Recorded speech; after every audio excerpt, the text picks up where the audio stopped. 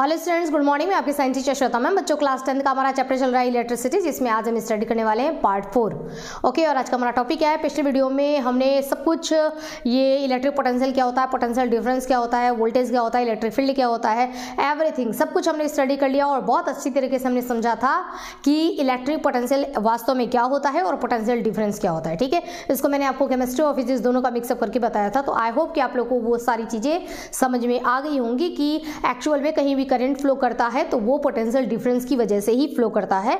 क्योंकि पोटेंशियल में जब डिफरेंस आएगा तो हाई पोटेंशियल से करंट अपने लो पोटेंशियल की तरफ़ मूव करता है। वहाँ पर एक छोटा सा पॉइंट रह गया था वोल्ट ठीक है ना? Definition of one volt volt जो है, ये यूनिट होता है। किसका यूनिट होता है? तो ये पोटेंशियल डिफरेंस का यूनिट होता है। कहीं भी अगर हम पढ़ते हैं तो हम हर जगह करंट में अगर हम वोल्ट वोल्ट कहीं भी अगर हम बात करें पोटेंशियल की, ठीक है?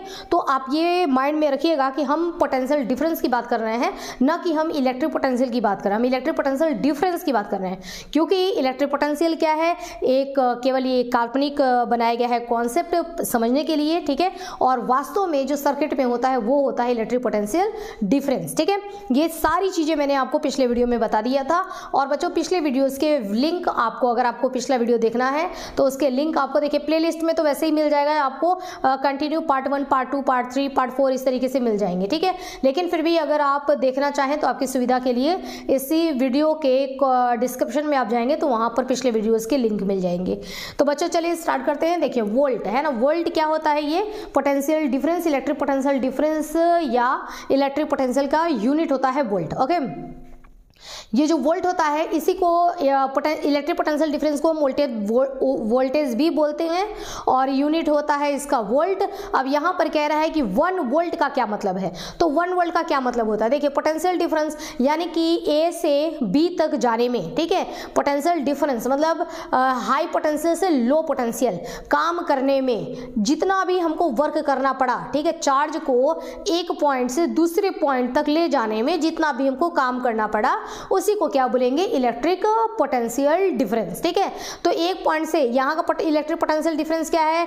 यहाँ का इलेक्ट्रिक पोटेंशियल क्या है? यहाँ का इलेक्ट्रिक पोटेंशियल क्या है? तो फाइनल से इनिशियल को माइनस कर देते हैं तो हमारा बन जाता है इलेक्ट्रिक पोटेंशियल डिफरेंस ठीक है? तो ये होता क्या है? V is equal to Q upon T okay अब यहाँ पर आपको वी को अगर आप वन कर देते हैं, ठीक है ना? या वी को तो आपको निकालना ही है। वन वोल्ट का डेफिनेशन पूछ रहा है ना? तो अगर हमको वन जूल वर्क करना है वर्क का यूनिट क्या होता है बच्चों? जूल अगर वन जूल वर्क करते हैं हम वन कुलाम चार्ज को एक जगह से दूसरी जगह तक ले जाने में, ठीक है? वन कुलाम चार्ज ये मेरे पास वन कुलाम चार्ज है, इसको एक जगह से दूसरी जगह तक ले जाने में ए पॉइंट से बी पॉइंट तक जाने में मुझे वन जूल का काम करना पड़ा। मतलब मेरे चार्ज की वैल्यू भी वन थी, ठीक है? और जो मैंने काम किया वो भी वन था तो वन और वन ये दोनों ही कैंसिल हो जाएँगे, बचेगा क्या हमारा? आंसर आएगा हमारा वन वोल्ट, ठीक है? One volt. और इसी को कह रहा था कि वन वोल्ट को डिफाइन करिए। तो वन वोल्ट को डिफाइन करना है मतलब वन वोल्ट वोल्ट की वैल्यू, पोटेंशियल की वैल्यू आपकी वन आनी चाहिए, ठीक है? तो ये भी वन अगर रहता है, ये भी वन रहता है तो आपकी इलेक्ट्रिक पोटेंशियल की वैल्यू तो वन आएगी ही। बस इसी को डेफिनेशन में लिख देना है। इफ़ वन जूल वर्क यदि वन जूल का वर्क डन करना पड़े done in moving one coulomb charge one coulomb charge को यहाँ से और मैं यहाँ तक जा रही हूँ, और यहाँ से वहाँ तक पहुँचाने के लिए अगर मुझे वन जूल वर्क करना पड़ता है, ठीक है from one point to another another है ना, एक पॉइंट से दूसरे पॉइंट तक, ठीक है then electric potential difference is called one volt तब जो इलेक्ट्रिक पोटेंशियल डिफरेंस की वैल्यू आती है, वो कितनी आती है? वन वोल्ट की आती है ओके अब देखिए वन ये छोटा सा टर्म जो हमारा ये रह गया था, छोटा सा टॉपिक ये यहाँ पर डन करने के बाद अब हम पढ़ेंगे कंपोनेंट सिंबल एंड फ़ंक्शन आपको जब इलेक्ट्रिक जब आप सर्किट बनाना सीखेंगे, ठीक है, कि इलेक्ट्रिक सर्किट बनाते कैसे हैं? जैसे आपको एक बल्ब जलाना है तो बल्ब को जलाने के लिए आप ये चाहते हैं कि बल्ब ऐसा होना कि मेरे हाथ में रहे। मेरी इच्छा हो तो मैंने स्विच ऑन किया बल्ब जल गया। स्विच ऑफ़ किया बल्ब जो है वो बंद हो गया, ठीक है? या मुझे फ़ैन चलाना है, ठीक है? तो मैंने स्विच ऑफ़ किया स्विच ऑन किया तो मेरे स्विच ऑफ़ और स्विच ऑन करने से फ़ैन जो है वो ऑफ़ होता है, बंद हो जाता है और वापस ये फ़ंक्शन में आ जाता है, काम करने लगता है। तो मुझे क्या बनाना पड़ेगा? एक सर्किट बनाना पड़ेगा, ठीक है? उस सर्किट में मेरा क्या होना चाहिए? अगर मैं बल्ब को लेके बना रही हूँ तो एक बल्ब होना चाहिए, ठीक है? वायर होना चाहिए। उसके बाद जो मेरे बल्ब को जला रहा है मतलब एक्सटर्नल सोर्स जो कि देगा, है ना? जो इलेक्ट्रिक पोटेंशियल डिफरेंस दे रहा है और उस वायर में कॉपर के का वायर है तो उसके फ्री इलेक्ट्रॉन्स को जो मूव करवा रहा है, जो पुश कर रहा है कि नहीं, इधर की तरफ़ मूवमेंट करो, ठीक है? यानी कि करंट जो फ्लो करवाएगा, वो मुझे सोर्स चाहिए, यानी कि मुझे सेल या बैटरी चाहिए, ठीक है? तो ये चाहिए वायर चाहिए बल्ब चाहिए और मैंने कहा कि बल्ब मेरे हाथ में हो, ठीक है, कि मैं अपने हिसाब से बल्ब को जलाऊं और बंद करूँ, यानी कि उसमें स्विच भी चाहिए, ठीक है। ये सब चीज़ों को हम जोड़ेंगे कैसे, है ना? तो इन सब चीज़ों को जब आपस में हम जोड़ देते हैं अटैच कर देते हैं तो हम बनाते हैं सर्किट ठीक है? तो वहाँ पर हमने सर्किट बनाया। आप अपने घर में देखिए तो हर जगह आपको इलेक्ट्रिक सर्किट दिखाई देगा, ठीक है? पूरे कई जगह पर आपने सर्किट बनाया, जैसे आपका फ्रिज चल रहा है, ठीक है ना? इलेक्ट्रिसिटी से चलने वाले हर जगह पे क्या उसके लिए एक स्विच होगा वहाँ पर स्विच में एक देखा होगा, आपने एक प्लग होगा स्विच होगा, ठीक है? पूरा अंदर हमको वायरिंग कनेक्शन करवाना पड़ता है। ओके? तो बच्चों, ये ये सारी चीज़ें तो हो गई कि अटैच कर रहे हैं तो ये सर्किट है। लेकिन अगर आपको कॉपी में एग्ज़ाम में देगा कि भाई, ये चीज़ ये चीज़ ये चीज़ ये चीज़, ये है, और इन सबको मिला करके आपको सर्किट तैयार करना है तो क्या आप वहाँ पर फ्रीज ड्रॉ करने लगेंगे? हैं? क्या आप वहाँ पर फ़ैन ड्रॉ करने लगेंगे? मान लो कि जिसकी ड्रॉइंग अच्छी नहीं है तो वो बेचारा क्या करेगा, है ना? किस तरीके से उसको दिखाएगा कि कैसे कैसे वायर अटैच है? तो इसके लिए हमारे पास सिंबल होता है, ठीक है? जैसे बार बार हम केमिस्ट्री में सोडियम सोडियम सोडियम लिखते नहीं है ना? हमको स्पेलिंग मान लो कि सोडियम की स्पेलिंग मुझे आती नहीं है, ठीक है? तो मुझे स्पेलिंग नहीं आती है, लेकिन मैं सिंबल तो याद कर सकती हूँ ना कि सोडियम का सिंबल होता है एन ए ठीक है? तो इस, इसके लिए क्या होता है? हमारी सुविधा के लिए एक सिंबल होता है कि आप सिंबल का इस्तेमाल करिए और उस चीज़ को सुविधाजनक तौर पर आप उसको वहाँ पर दिखा सकते हैं, ठीक है? पूरा ड्रॉइंग करने की ज़रूरत नहीं होती सिंपल वे में आप उसको दिखा सकते हैं। तो सिंपल सुविधाजनक बनाने के लिए पूरा सर्किट को, है ना, दिखाने के लिए एग्ज़ाम में कि कब पेपर में कम जगह में ही और हमने हमने सब कुछ बता दिया कि देखो यहाँ पर मेरा रेजिस्टेंस भी लगा हुआ है और यहाँ पे ये बल्ब भी लगा हुआ है।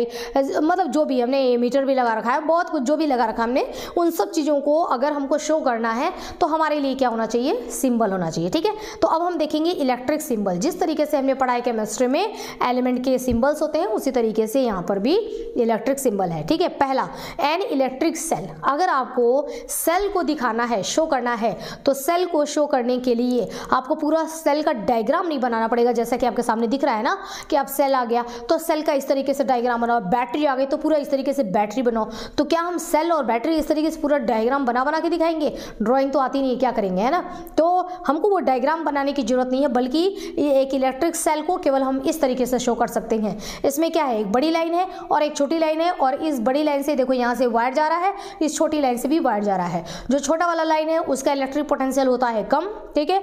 जहाँ का इलेक्ट्रिक पोटेंशियल पोटेंशियल की वैल्यू कम होती है लो इलेक्ट्रिक पोटेंशियल वाला उसको हम छोटी लाइन से दिखाते हैं हाई इलेक्ट्रिक पोटेंशियल वाले को बड़ी लाइन से दिखाते हैं तो ये बड़ी वाली लाइन हो गई, ये छोटी वाली लाइन हो गई, ठीक है?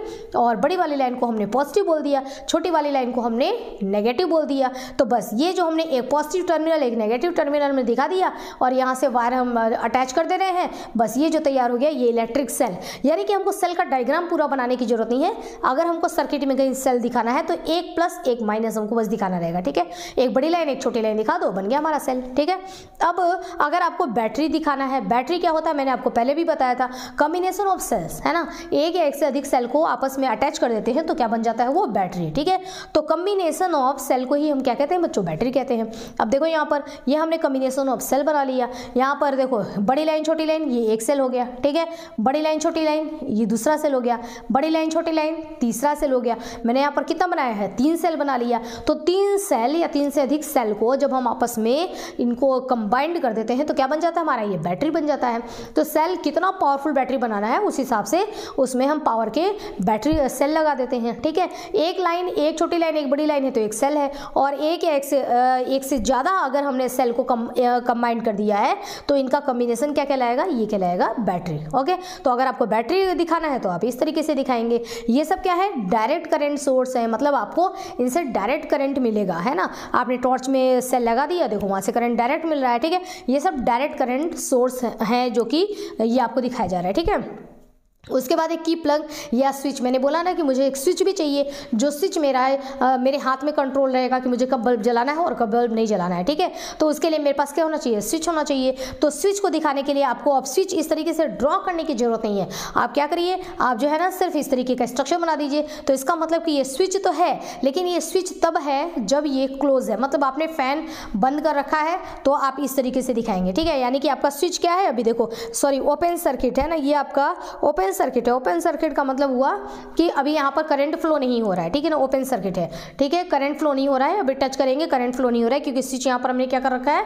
यहाँ पर हमने स्विच ऑफ़ कर रखा है है ना? तो ये स्विच ऑफ़ कंडीशन होता है नो करंट फ्लोज ओके अब देखो, जब हम स्विच ऑन करेंगे तो बस यहाँ पर बीच में क्या करना है? एक छोटा सा डॉट बना दीजिए तो ये क्या बन जाता है? स्विच ऑन का बन जाता है। तो स्विच ऑफ़ आपको शो करना है, ऐसे स्विच ऑन शो करना है, इस तरीके से, ठीक है? और जब स्विच ऑन ऑफ़ रहता है तो इसको ओपन सर्किट बोला जाता है, और जब स्विच ऑन हो जाता है तो इसको क्लोज सर्किट बोला जाता है कि ये क्या हो गया है? क्लोज हो गया ठीक है? एक बात और स्विच ऑफ़ ऑन को ना एक और तरीके से भी शो किया जाता है। देखिए, वो भी मैं यहाँ पर बता दे रही हूँ आपको कि ये देखिए, ये स्विच ऑन है ना? स्विच ऑफ़ है ना तो एक ये लाइन है, ठीक है? ये है ओके? और यहाँ से ये वायर, है ना? अब देखो, ये दोनों ही क्या है? ओपन है, ठीक है ना? ओपन। तो ये वायर इसके साथ ओपन नहीं है मतलब इसके साथ जुड़ा हुआ नहीं है, ये ओपन है। तो स्विच ओपन, ठीक है? सर्किट ओपन है अभी, ये स्विच ऑफ़ है। और जब स्विच ऑन रहेगा ना तो ये आया, यूँ आया ये वायर, ठीक है? अब ये वायर ऐसे नहीं आएगा, बल्कि अब इसको क्या करेंगे? इसको आप इसको ये वाला दूसरा हमारा, देखो, ये वाला लाइन है, ठीक है? और इसको क्या करेंगे? इसके साथ मतलब हम अटैच कर देते हैं, ठीक है ना? ये देखो, ये क्या हो गया क्लोज सर्किट है ना? जगह नहीं है ना आने जाने का इसमें। यहाँ पे रास्ता बन रहा है, ये ओपन है और ये क्लोज तो स्विच यहाँ पर स्विच क्या है? स्विच ऑफ़ है और यहाँ पर स्विच ऑन हो गया है। ऐसे भी शो होता है, ऐसे भी शो होता है। ठीक है? अब देखिए, अब हम आ जाते हैं वायर के कनेक्शन पर कि अगर वायर एक वायर है, उसके साथ ऐसे दूसरा वायर जा रहा है, ऐसे तो आप देखेंगे, घर में रहते ही हैं तो wire part of an electric circuit electric circuit में जो वायर क्या है, ये उस सर्किट का एक पार्ट होता है। तो यहाँ पर वायर का कनेक्शन दिखा रहा है कि एक वायर है, दूसरा वायर है, आप इस तरीके से उसको दिखा सकते हैं, ठीक है? अब यहाँ पर वायर क्रॉसिंग विदाउट ज्वाइनिंग अब आपको ये दिखाना है कि एक वायर तो ये जा रहा है और एक वायर ऐसे आ रहा है, लेकिन ये दोनों वायर के बीच में गैपिंग है, ठीक है ना? एक वायर ये है है ओके देखो, एक वायर तो ये है, ऐसे, ठीक है? और दूसरा वायर जो है ना, वो ये है। अब उधर से देखने पे कहीं ऐसा ना लगे कि दोनों वायर एक दूसरे से यहाँ पर जुड़ रहे हैं अटैच है। अटैच नहीं है, बल्कि दोनों के बीच में क्या है, यहाँ पर गैप है है ना? ये आपको गैप दिखाई देगा। देखो, दोनों के बीच में क्या गैप है? यहाँ से बना रही हूँ तो यहाँ पे समझ में नहीं आएगा गैप है, ठीक है? लेकिन जब मैं इसको टर्न करूँगी तो समझ में आएगा कि गैप है। लेकिन कॉपी में इस चीज़ को कैसे दिखाएँ? तो यहाँ पर दोनों वायर एक दूसरे से कनेक्टेड नहीं है, दोनों वायर अलग अलग है। एक वायर ऐसे एक वायर इस तरीके से आ रहा है। तो उसको गैप दिखाने के लिए इसको हमने वायर को यहाँ से टर्न कर दिया, ठीक है? अब ऐसा सिंबल रहेगा तो आप समझ जाना कि ये वायर इस वायर के साथ जुड़ा हुआ नहीं है, केवल ये क्या है? ऐसे इसके साथ मतलब ये ऐसे आ रहा है हॉरिजेंटल में तो दूसरा वर्टिकल में लाइन आ रहा है, ठीक है ना? वायर ऐसे आ रहा है ओके तो वायर क्रॉसिंग विदाउट ज्वाइनिंग है ना? वायर क्रॉस तो कर रहे हैं एक दूसरे को, लेकिन विदाउट ज्वाइनिंग ज्वाइन नहीं है, इस बात का ध्यान देना है, ठीक है? अब आ जाते हैं नेक्स्ट पे, देखिए इलेक्ट्रिक बल्ब अगर इलेक्ट्रिक बल्ब आता है तो उसको हम कैसे बनाएँगे? इलेक्ट्रिक बल्ब का सिंबल इस तरीके का, ठीक है? ये हमारा इलेक्ट्रिक बल्ब है और फ़िलहाल ये जो बल्ब है, ये ग्लो नहीं कर रहा है। अगर आपको ग्लोइंग बल्ब बनाना है तो उसको हम कैसे बनाएँगे बच्चों? देखो ग्लोइंग अगर बल्ब है ना तो ये हमारा बल्ब बन गया और बल्ब को हमने क्या कर दिया? इसको हमने यहाँ पर ऐसे दिखा दो कि भाई इसमें से रोशनी निकल रही है। ये बल्ब क्या कर रहा है?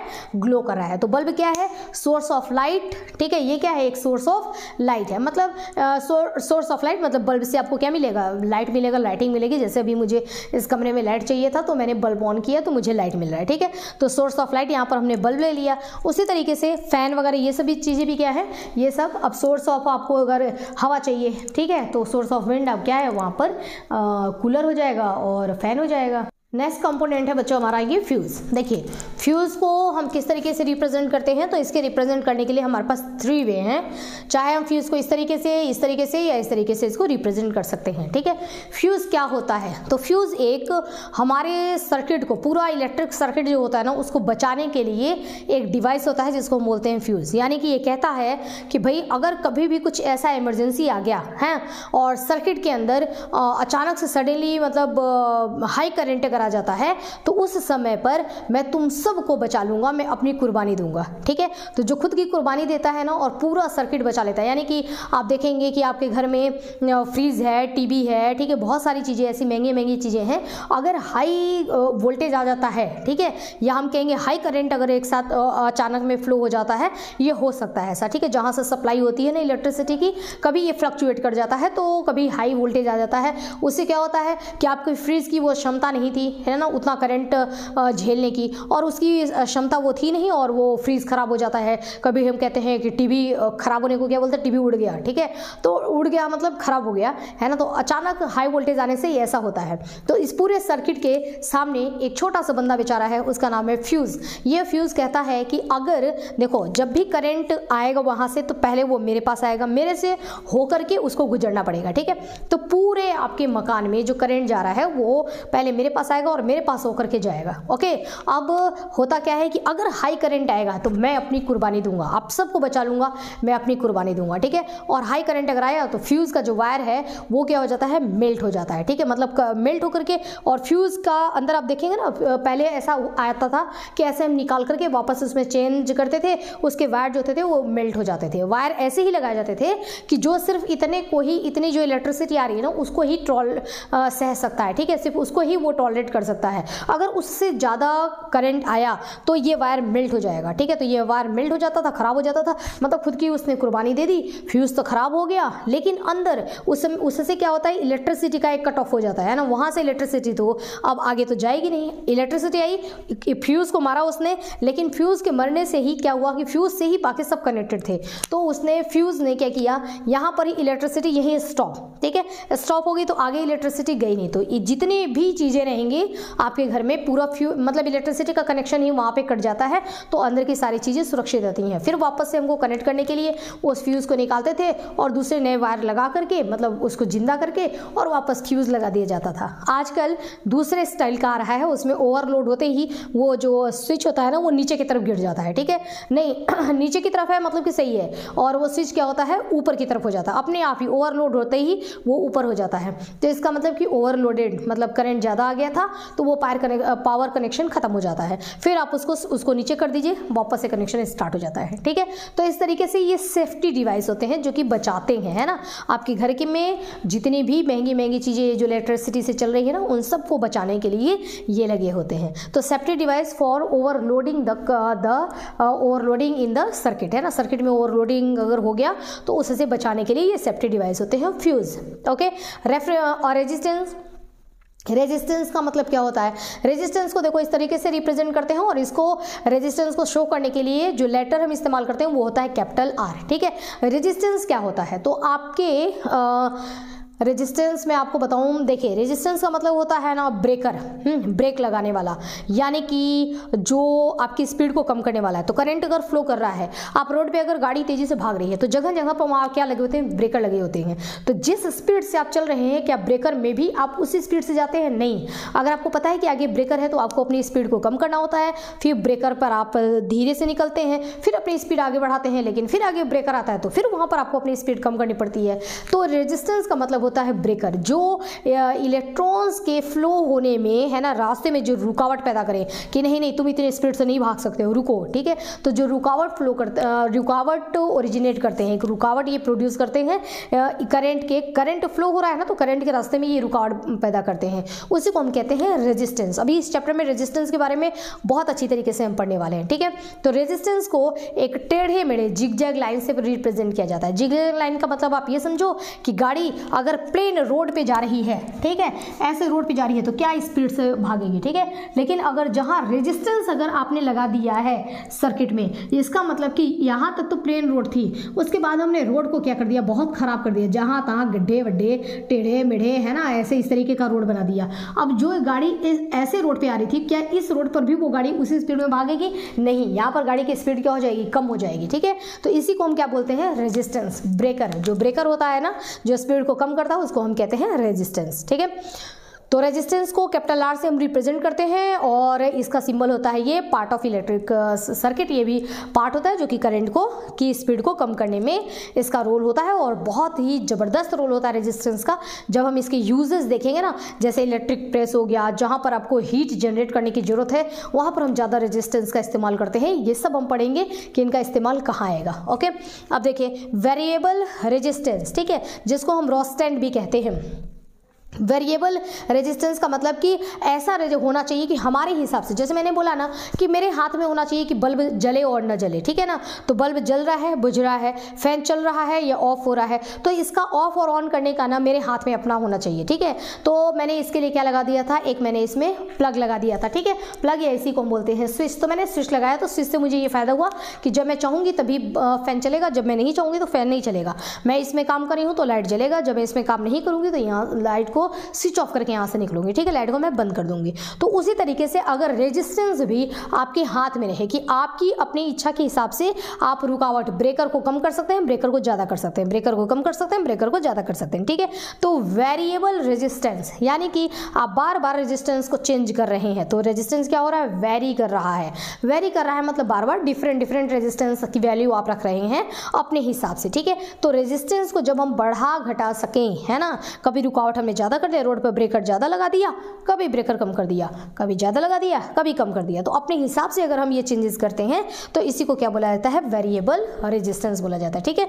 और वेरिएबल रेजिस्टेंस जो होता है, उसको आप कैसे रिप्रेजेंट करते हैं? उसको हम इस तरीके से, ठीक है ना? वेरिएबल नहीं नहीं, एक मिनट सॉरी हाँ ये रेजिस्टेंस हो गया। वेरिएबल रेजिस्टेंस जो होता है, उसके ये रेजिस्टेंस लगा हुआ है, इसमें ये एक एरो लगा करके, ठीक है? एरो यहाँ पर ये इंडिकेट कर रहा है कि आप देखेंगे, जब तो वहाँ पर हमको ना इसको आगे पीछे खिसकाने के लिए रहता है, जिसको हम खिसका करके और रेजिस्टेंस को कम या ज़्यादा कर सकते हैं। तो वहाँ पर खिसकाने वाला जो है, जिसको हम थोड़ा इधर उधर स्लिप करवा रहे हैं, वो उसको हम एरो से शो करते हैं। अब एरो को आप ऐसे भी शो करते, कर सकते हैं और एरो को इस तरीके से भी दिखा सकते हैं। तो हम वेरिएबल रेजिस्टेंस को ऐसे या ऐसे, दोनों तरीके से दिखा सकते हैं, ठीक है? To vary current in the circuit circuit में रेजिस्टेंस हम अगर बढ़ा देते हैं तो करंट कम हो जाएगा। मतलब ब्रेकर आप बढ़ा देते हैं तो करंट धीरे धीरे जाएगा।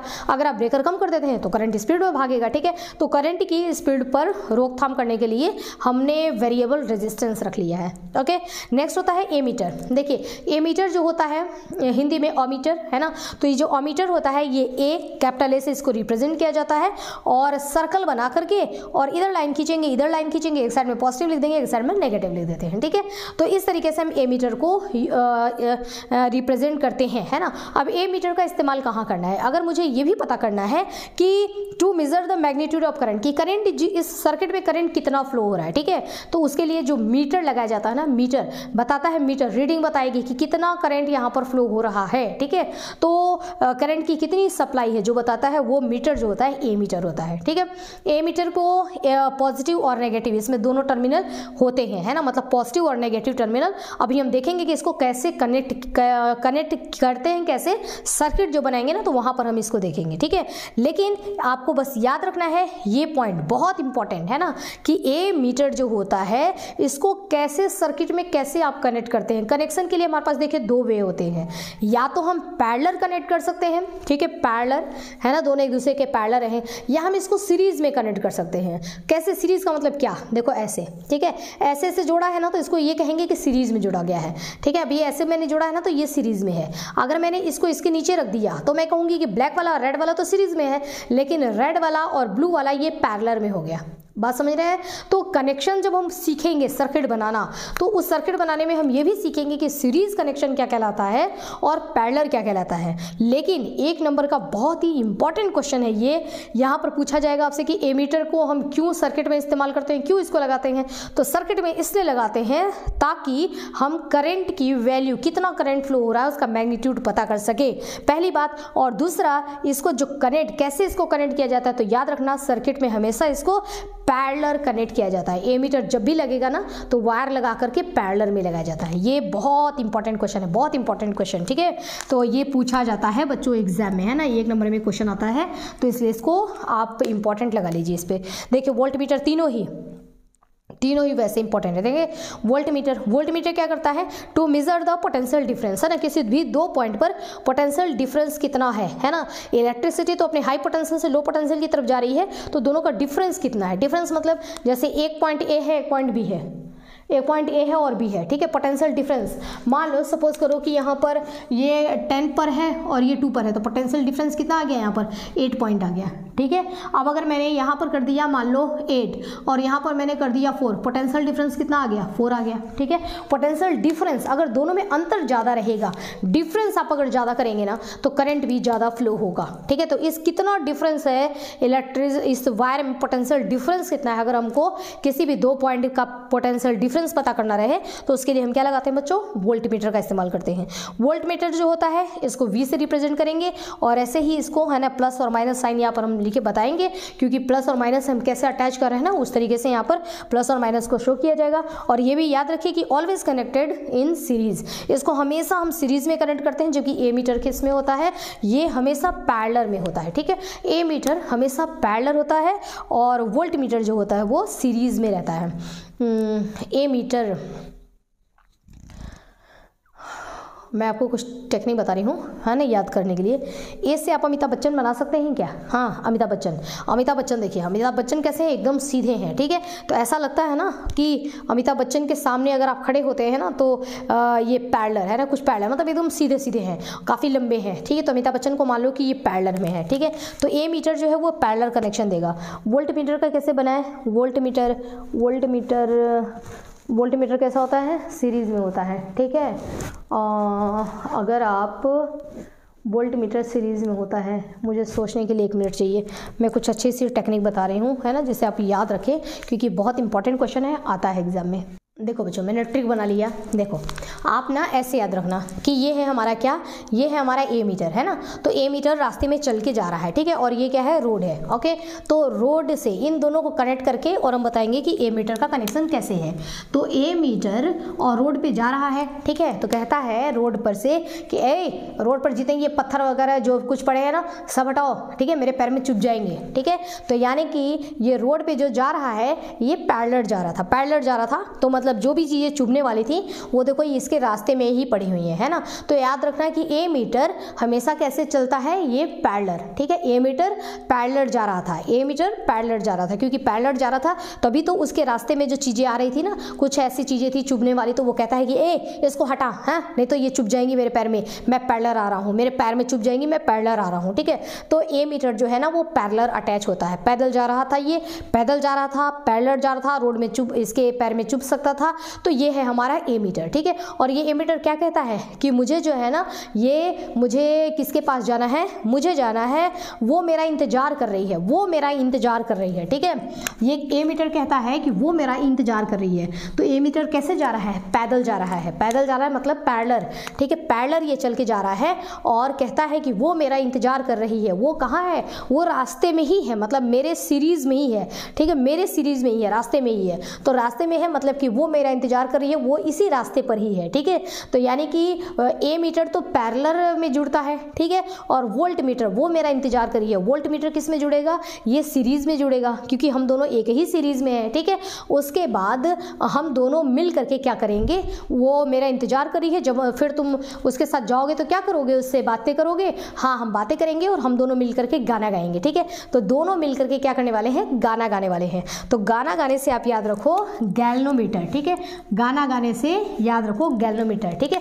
गैल्नोमीटर भी किसमें है? सीरीज़ में ही है। वो मेरा इंतज़ार कर रही है, सीरीज़ में ही है, ठीक है? तो वो मेरा इंतज़ार कर रही है। तो वो वोल्ट मीटर जो है, वो सीरीज़ में जुड़ता है, ओके? इसके साथ जुड़ेगा वो, लेकिन सीरीज़ में जुड़ेगा। और फिर आप दोनों क्या करेंगे? हम दोनों मिलकर के गाना गाएँगे। वो भी हम दोनों कहाँ है? सीरीज़ में ही है, ठीक है? तो हम दोनों मिलकर के क्या करेंगे? गाना गाएँगे। तो ये भी किसमें जुड़ा हुआ है? सीरीज़ में। तो देखिए गैल्नोमीटर सीरीज़ में वोल्ट मीटर सीरीज़ में और ए मीटर कैसे चल रहा है? पैदल चल रहा है तो ए मीटर मीटर जो होता है वो पैरल जुड़ा होता है। ठीक है, ये एग्ज़ाम में बहुत इंपॉर्टेंट क्वेश्चन है जो कि पूछता है। इसलिए मैंने इसका भी ट्रिक बनाया कि आप इसको याद रखें, ठीक है? तो ए मीटर पैरल हो गया वोल्ट मीटर वो मेरा इंतज़ार करिए सीरीज़ में है और हम दोनों मिलकर गाना गाएँगे, वो भी साथ साथ ही है तो सीरीज़ में ही है, ठीक है?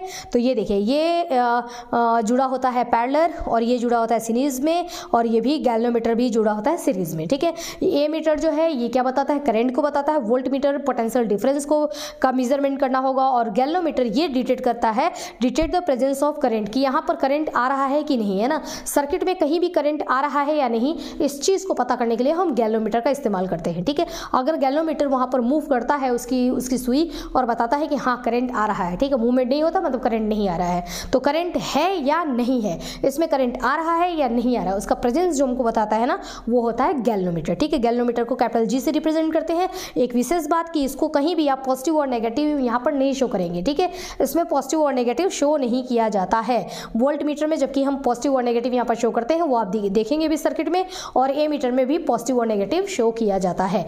तो बच्चों, ये पूरा आपने देखो, देख लिया पार्ट फोर ओके इसमें हमने पूरा देख लिया ये कंपोनेंट्स जो भी हम ये कंपोनेंट्स इस्तेमाल करने वाले हैं सर्किट बनाने में, उनके क्या सिंबल हैं, उनके क्या फ़ंक्शन है, और हम ये सिंबल आपको पूरा याद होना चाहिए। नेक्स्ट वीडियो बच्चों, जो हमारा पार्ट फाइव होगा, उसमें मैं आपको हर तरीके का, जैसे जैसे भी सर्किट बना सकते हैं, और ऑल सर्किट्स है ना, सारे तरीके के सर्किट्स बनाना सिखाऊँगी, ठीक है? तो बहुत ही इंपॉर्टेंट हमारा होने वाला है पार्ट फाइव ज़रूर देखिएगा, और तब तक के लिए स्टडी करते रहिए। Keep studying keep smiling okay है नेक्स्ट डे